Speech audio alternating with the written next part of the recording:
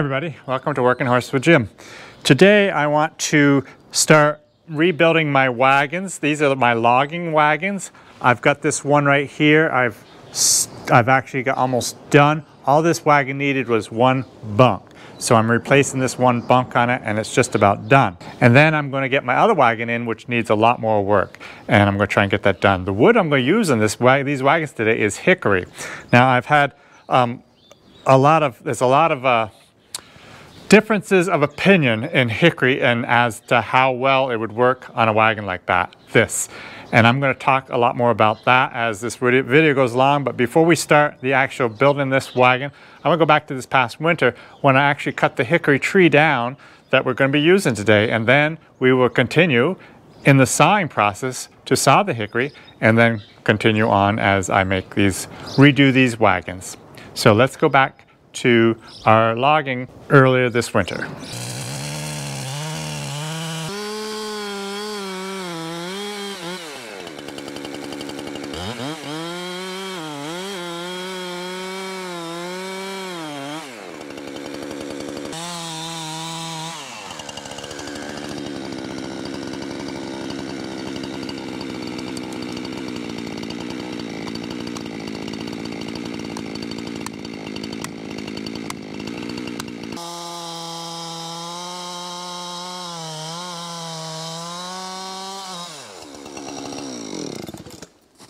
This is a little scary.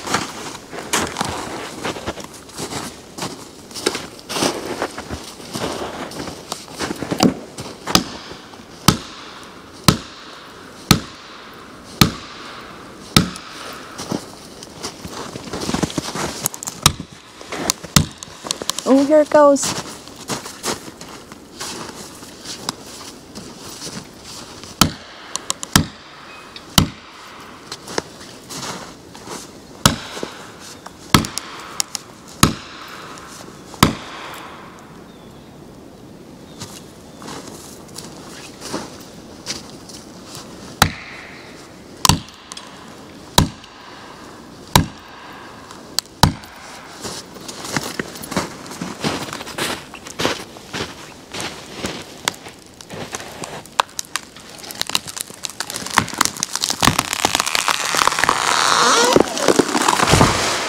Wow. That's a rush. Clean this mess up and then, then I'll talk. Okay.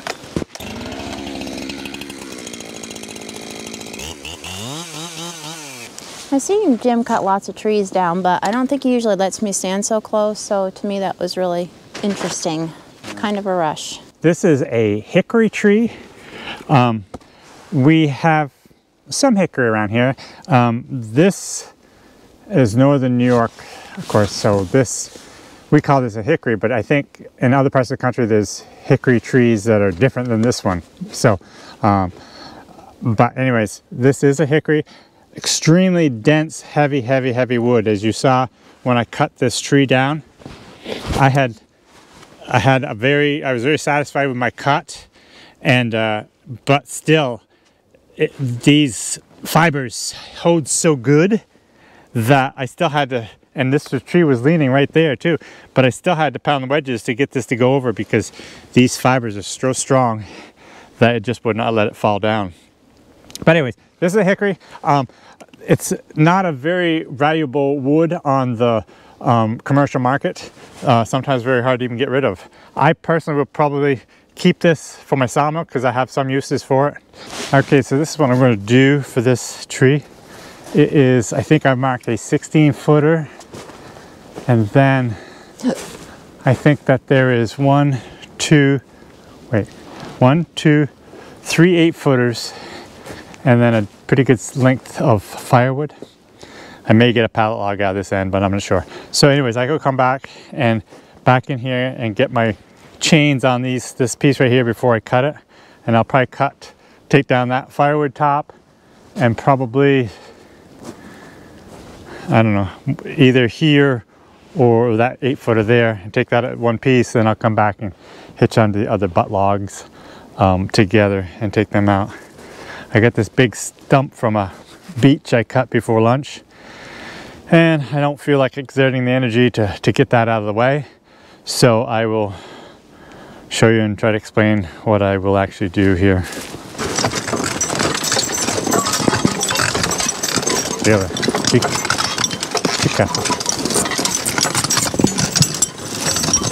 Ha. Ha. Ha. Ha. Ha. Ha. Careful, ha. Careful, ha. Careful. Lady, stop. Cap, stop. Oh, bye. Ha.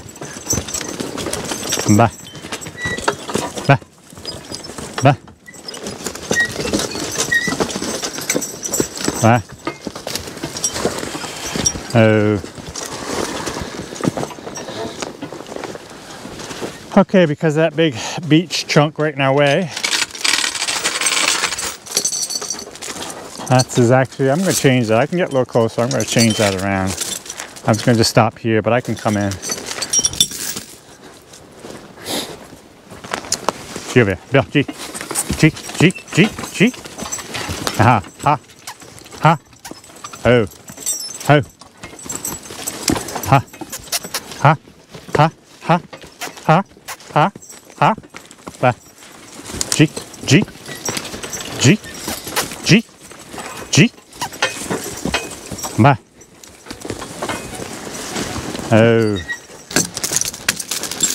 So I'm going to get the chains on before I cut this. Makes it a lot easier.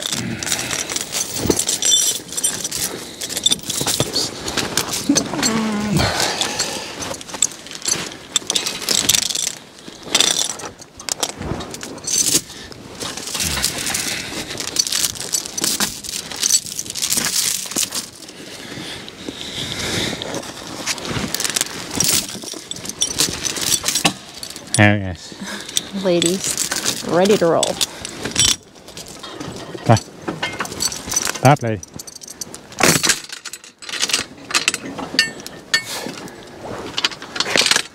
Now I'm keeping this chain quite long because I've had it too too short. It would pull this log right up on top of that tire. And we don't want that.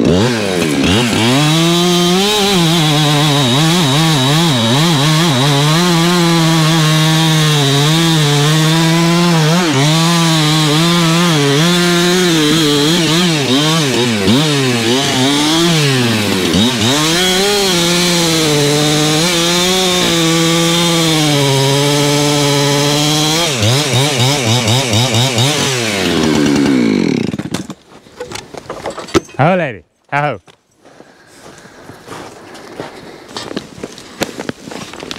Oh. Oh. Just a little bit, lady. Careful. Oh. Bye.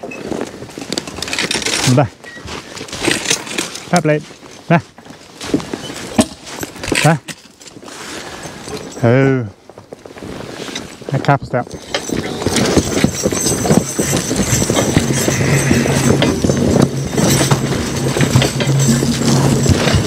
Oh.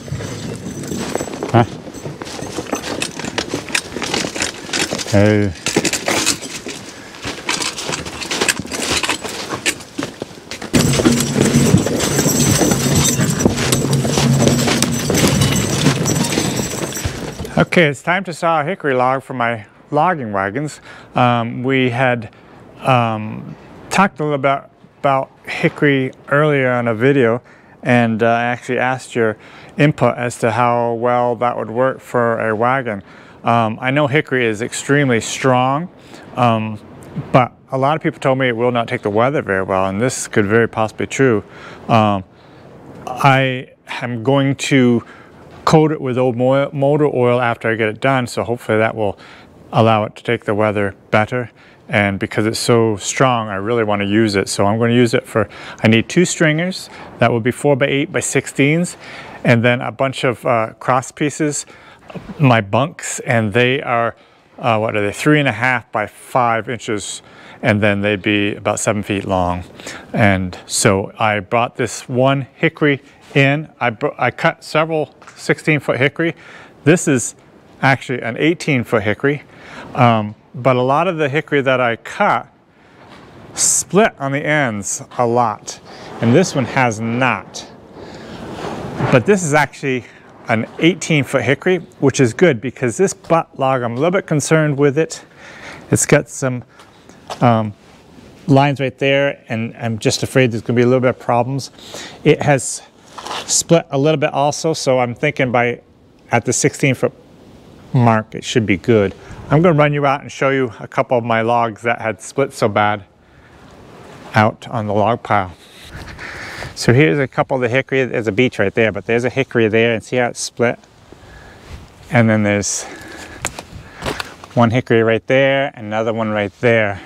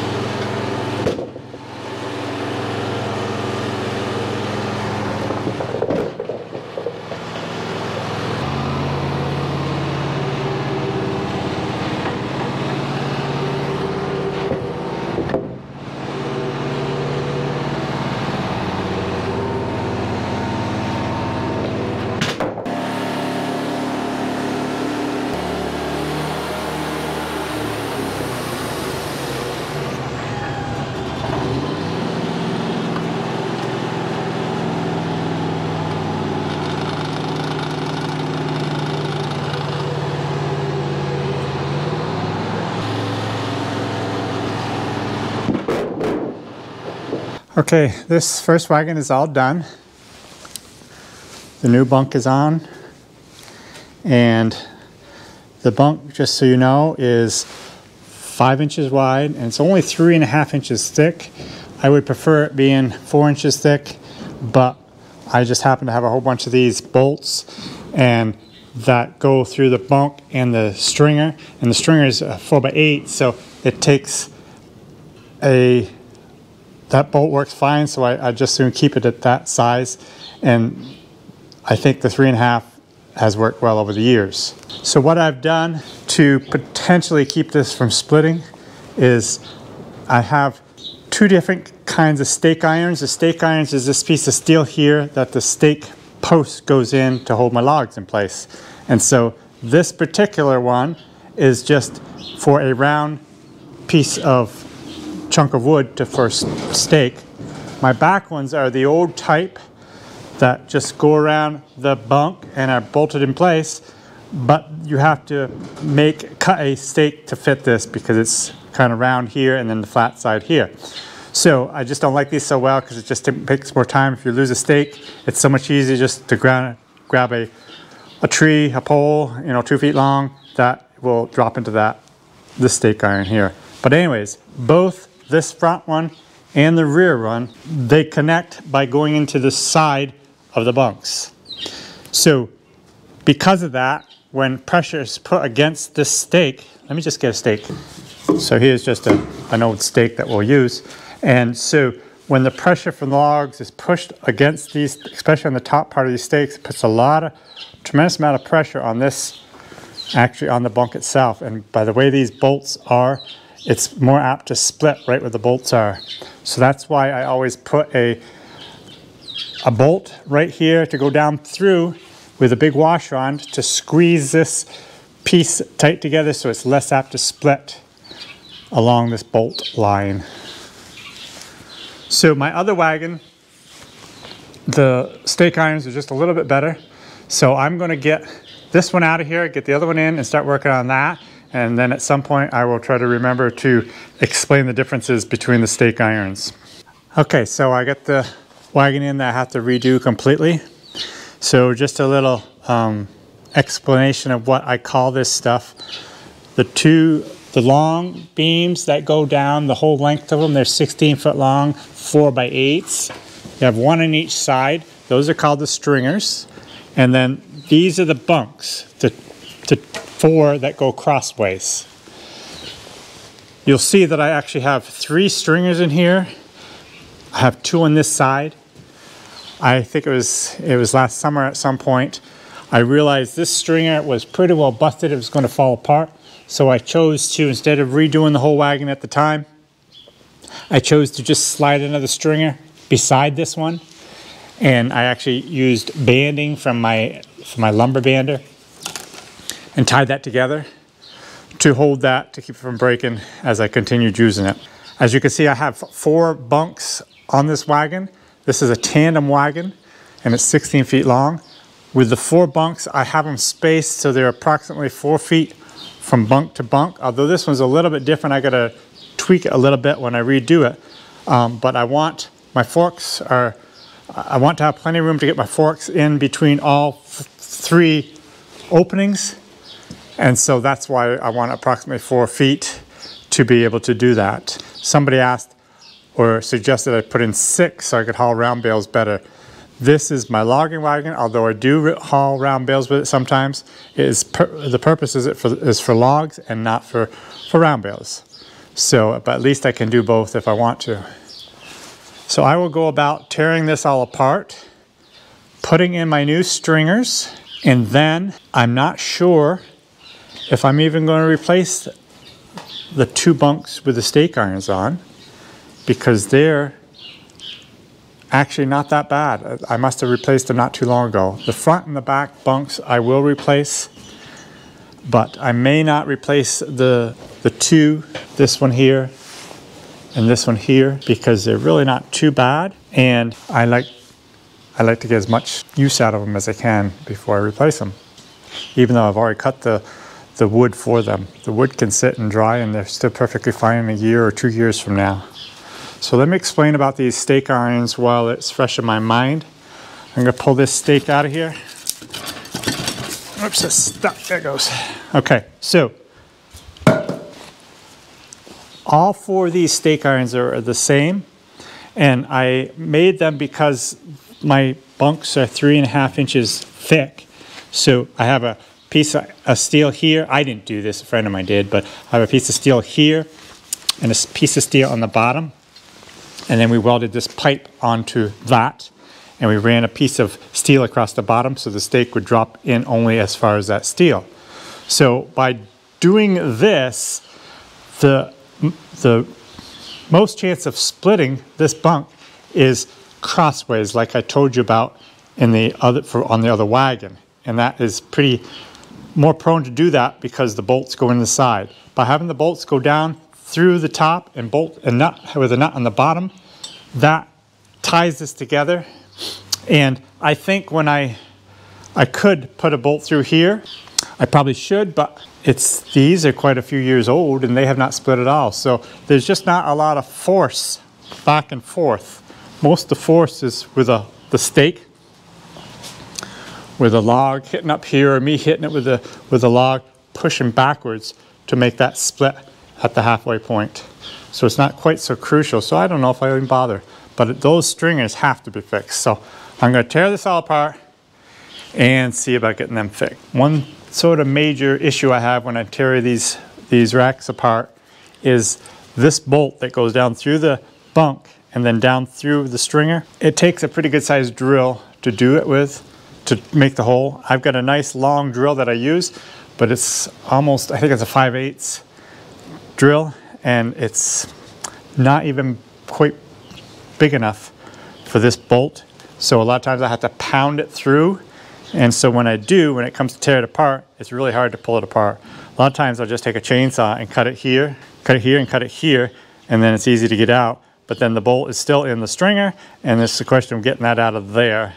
And if the stringer is no good, I will actually cut the stringer the same way to get that bolt out. But I, I don't want to cut this bunk if I could possibly help it, because I want to just reuse this one. Okay, let's go about our work and see what happens.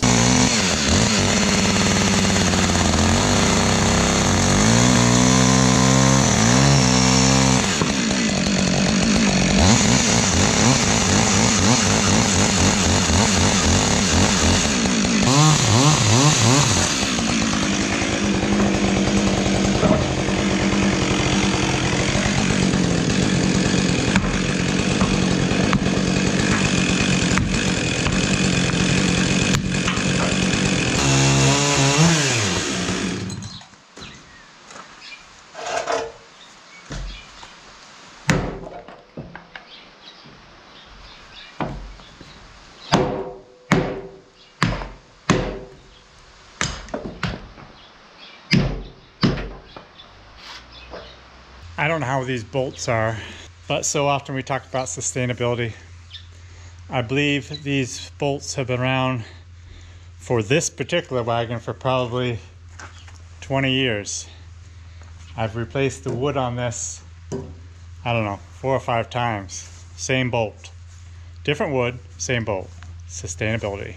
We have a young man named London helping us out a little bit after school. He's trying to earn some money for a mission trip since we had to cut all this stuff up and we're going to actually use all these pieces for firewood. So one more sustainability thing, we're utilizing all this um, junk that is going to go into our furnace to heat our house, to heat our wood kiln, and so that's that's great. So I'm going to pull this wagon out and put the stringers on, and we'll continue the project.